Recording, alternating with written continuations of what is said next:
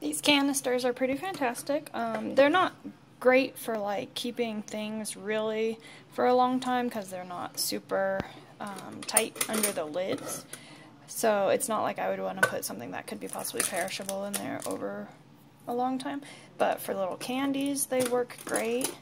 You see, they're very easy to I've got cookies in one just because they're not going to last very long in this house. So those are fine. And then you'll see I've still got two empty ones that I haven't put anything in.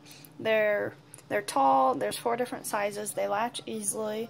Like I said, I wouldn't want to put like rice or anything that would go in there, but just little things like that, they work great.